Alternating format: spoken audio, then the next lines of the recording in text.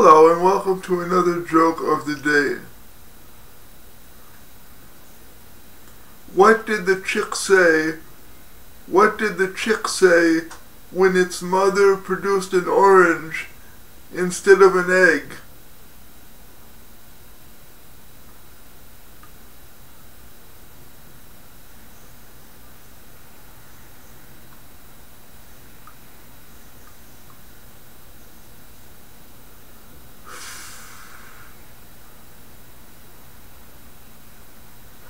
At the orange.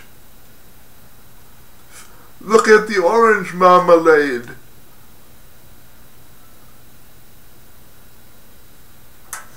Okay, okay, well that's your joke for today. I hope you enjoyed it.